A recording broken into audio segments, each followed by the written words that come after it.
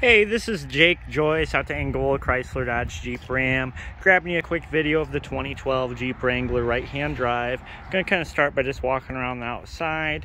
I notice anything major, I will uh, try to point it out to you. a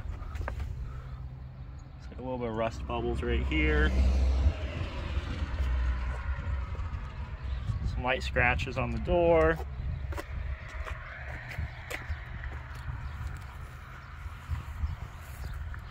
Uh, tires you're asking about, I would say uh, pretty close to new. They have very good tread on them.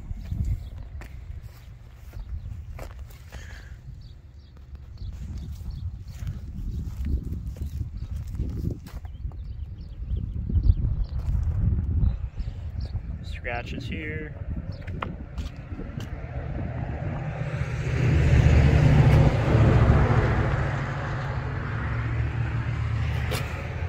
Lots of scratches over here. Just little ones in the door. These hinges, very common. I think most of them that I see are like that. Scratches. Yeah, overall, I mean, no major, major damage, just little scratches, a lot of them.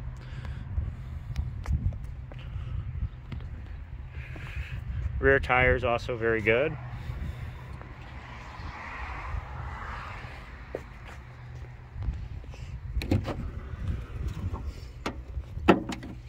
Open up back here. Interior's in really nice shape.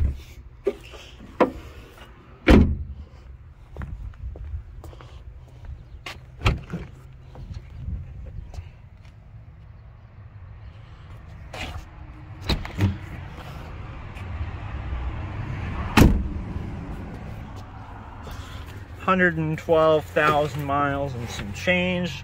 Does have the power windows and locks.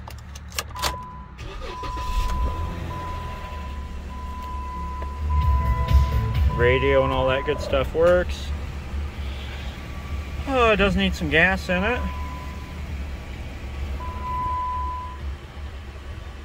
Um, cruise control.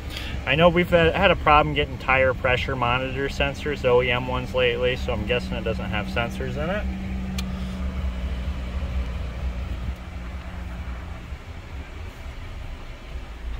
But yeah, I just want to give you an idea what it looks like a little bit better. If you can make it up today, just let me know.